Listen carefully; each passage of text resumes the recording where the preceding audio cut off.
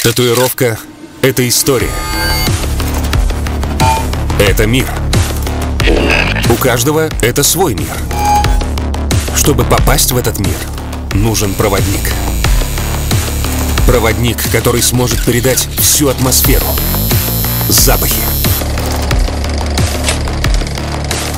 эмоции. Сделать на твоем теле то, что ты пожелаешь. Татуировка — это не то, что под кожей.